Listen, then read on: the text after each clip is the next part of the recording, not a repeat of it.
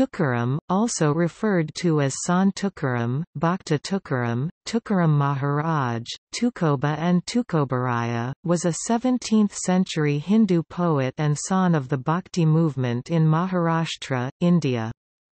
He was part of the egalitarian, personalized Varkari devotionalism tradition. Tukaram is best known for his devotional poetry called Abhanga and community-oriented worship with spiritual songs known as kirtans. His poetry was devoted to Vitala or Vithoba, an avatar of Hindu god Vishnu.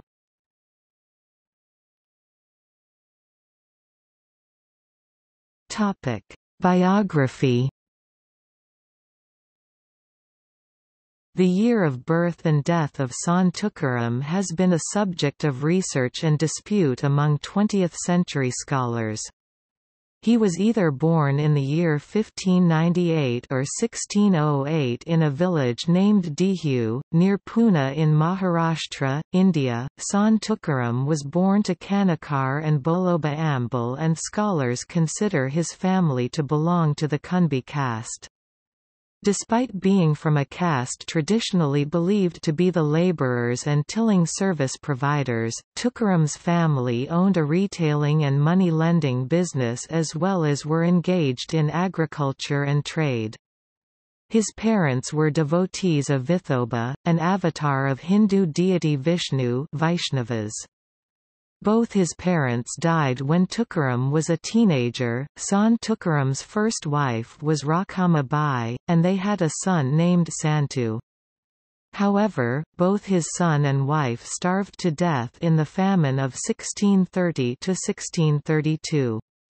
The deaths and widespread poverty had a profound effect on Tukaram, who became contemplative, meditating on the hills of Sahyadri Range Western Ghats and later wrote he, "...had discussions with my own self." Tukaram married again, and his second wife was Avalai Jijabai. He spent most of his later years in devotional worship, community kirtans, group prayers with singing, and composing Abhanga poetry. According to Rodranada, Tukaram's spiritual teacher was Babaji Chaitanya, who himself was fourth-generation disciple of the 13th-century scholar Jnanadeva. In his work of Abhangas, Tukarama repeatedly refers to four other persons who had a primary influence on his spiritual development, namely the earlier Bhakti Sants Namdev, Dnyaneshwar, Kabir and Eknath. According to some scholars, Tukaram met Shivaji, a leader who challenged the Mughal Empire and founded the Maratha kingdom. Their continued interaction is the subject of legends.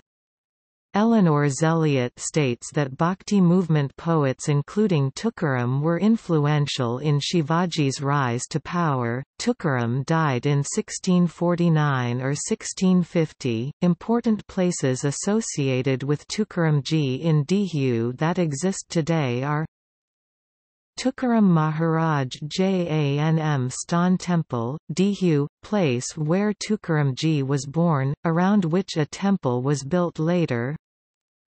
Sant Tukaram Vaikunthstan Temple, Dehu, from where Tukaram Tukaramji ascended to Vaikunth in his mortal form, there is a nice ghat behind this temple along the Indrayani River, Sant Tukaram Maharaj Gatha Mandir, Dehu, modern structure, massive building housing a big statue of Tukaram, in the Gatha temple, about 4,000 abhangs verses, created by Tukaram Maharaj were carved on the walls.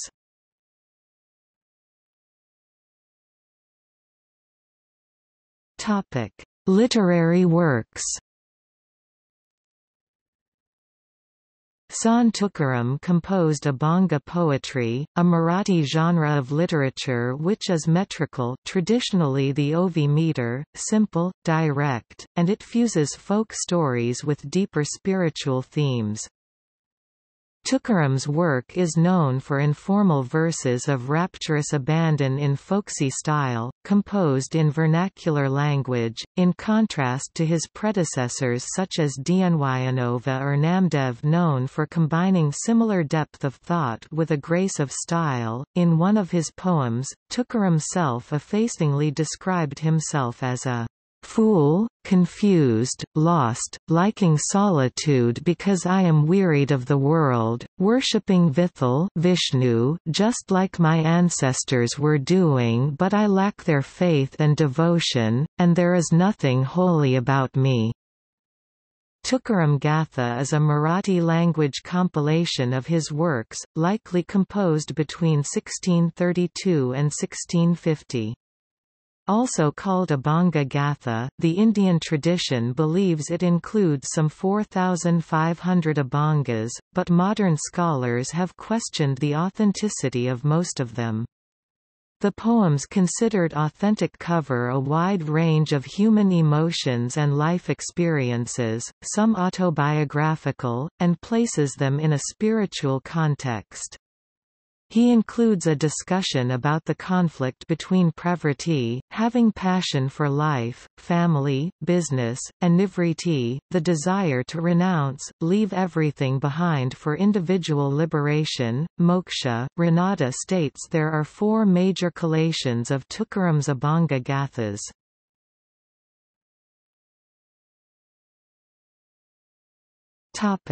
Authenticity Numerous inconsistent manuscripts of Tukaram Gatha are known, and scholars doubt that most of the poems attributed to Tukaram are authentic. Of all manuscripts so far discovered, four are most studied and labeled as, the Dehu MS, the Kadusa MS, the Talegaon MS and the Pandharpur Ms. Of these, the Dehu MS is most referred to because Indian tradition asserts that it is based on the writing of Tukaram's son Mahadeva, but there is no historical evidence that this is true. The first compilation of Tukaram poems were published, in modern format, by Indu Prakash Publishers in 1869, subsidized by the British colonial government's Bombay Presidency. The 1869 edition noted, some of the as received manuscripts on which the compilation relied, had been corrected, further corrected and arranged. This doctoring and rewriting over about 200 years, after Tukaram's death, has raised questions whether modern compilation of Tukaram's poems faithfully represent what Tukaram actually thought and said, and the historicity of the document. The known manuscripts are jumbled, randomly scattered collections, without chronological sequence, and each contain some poems that are not found in all other known manuscripts.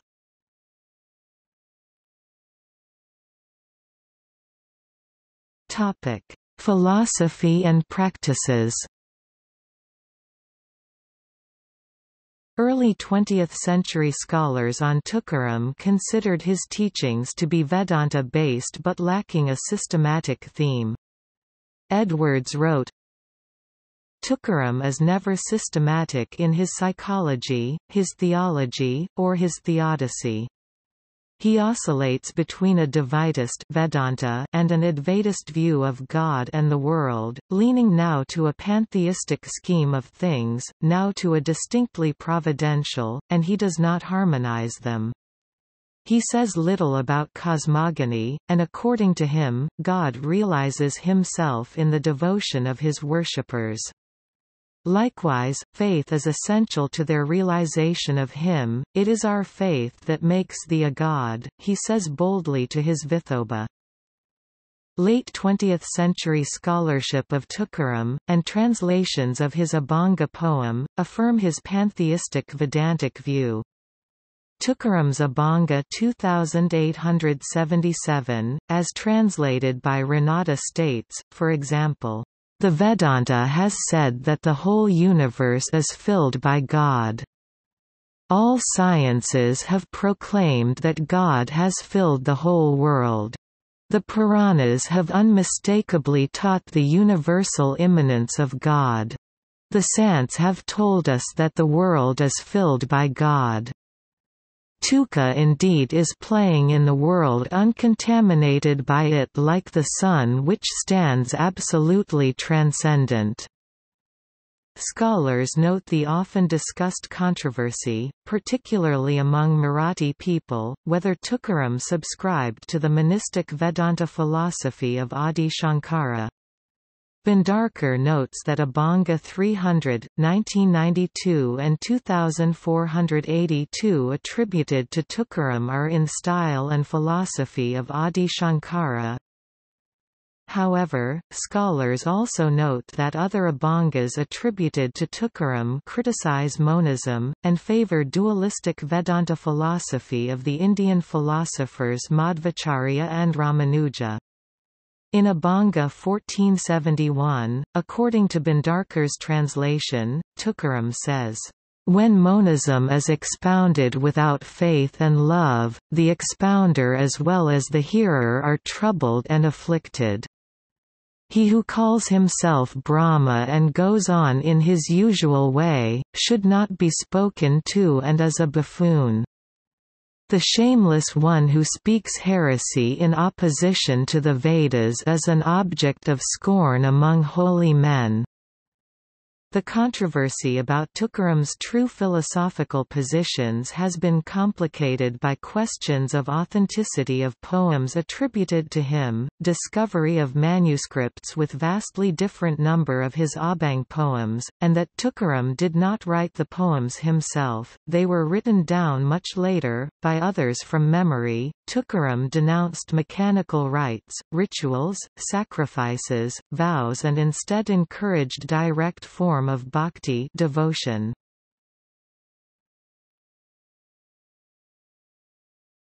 Topic: Kirtan. Tukaram encouraged kirtan as a music-imbued, community-oriented group singing and dancing form of bhakti. He considered kirtan not just a means to learn about bhakti, but bhakti itself. The greatest merit in kirtan, according to Tukaram, is it being not only a spiritual path for the devotee, it helps create a spiritual path for others.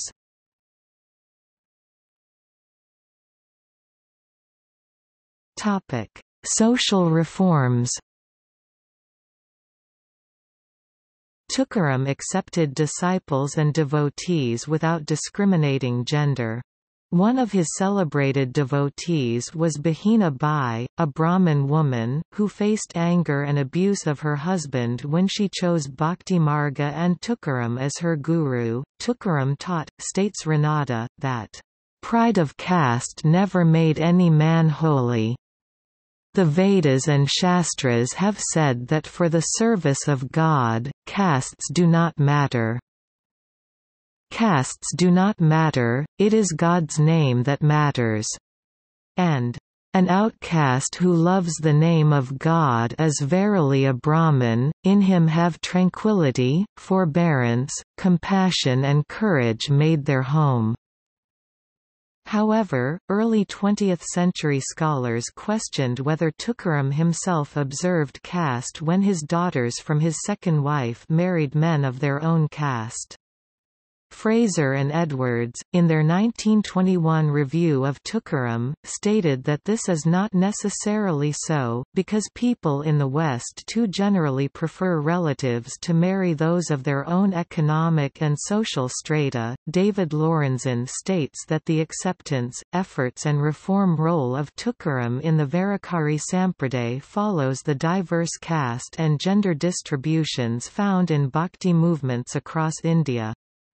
Tukaram, of Shudra Varna, was one of the nine non-Brahmins, of the 21 considered San in Varkari Sampraday tradition.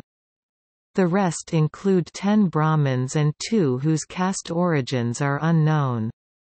Of the 21, four women are celebrated as San, born in two Brahmin and two non-Brahmin families.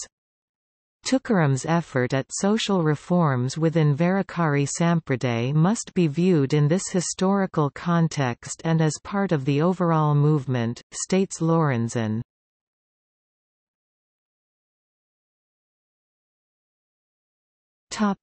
Legacy Tukaram was a devotee of Vitala or Vithoba, an avatar of god Vishnu, synchronous with Krishna but with regional style and features.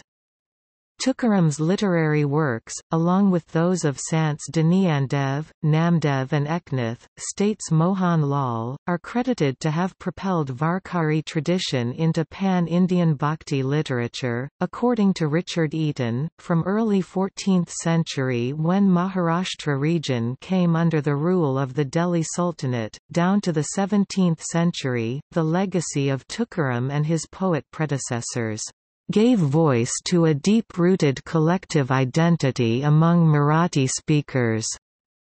Dilip Chitre summarizes the legacy of Tukaram and Bhakti movement Sants, during this period of Hindu-Muslim wars, as transforming, "...language of shared religion, and religion a shared language." It is they who helped to bind the Marathas together against the Mughals on the basis not of any religious ideology but of a territorial cultural identity. Mahatma Gandhi, in early 20th century, while under arrest in Yerwada Central Jail by the British colonial government for his nonviolent movement, read and translated Tukaram's poetry along with Upanishads, Bhagavad Gita and poems by other Bhakti movement poet sants.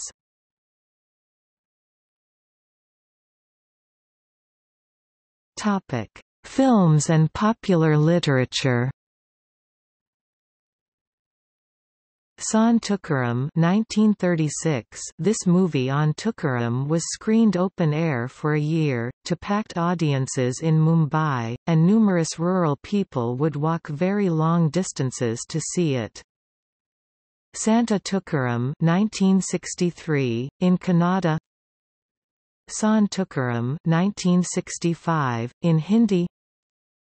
Bhakta Tukaram 1973, in Telugu Tukaram 2012, in Marathatukaram's life was the subject of 68th issue of Amar Chitra Katha, India's largest comic book series. Government of India issued 100 rupees silver commemorative coin in 2002.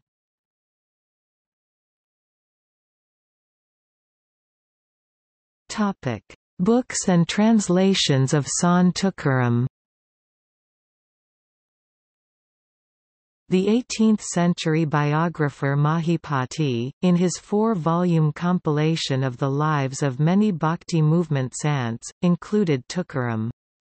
Mahipati's treatise has been translated by Justin Abbott. A translation of about 3,700 poems from Tukaram Gatha in English was published, in three volumes, between 1909 and 1915, by Fraser and Marathe. In 1922, Fraser and Edwards published his biography and religious ideas incorporating some translations of Tukaram's poems, and included a comparison of Tukaram's philosophy and theology with those of Christianity. Delarue, in 1956, published a metric French translation of a selection of Tukaram's poem along with an introduction to the religious heritage of Tukaram Delarue spells him as Tukaram. Arun Kolatkar published, in 1966, six volumes of avant-garde translations of Tukaram poems. Ranade has published a critical biography and some selected translation. Dilip Chitre translated writings of Sant Tukaram into English in the book titled Says Tuka for which he was awarded the Sahitya Akademi Award in 1994. A selection of poems of Tukaram has been translated and published by Daniel Ladinsky. Chandrakant Kaloram Mhatre has translated selected poems of Tukaram, published as 100 Poems of Tukaram.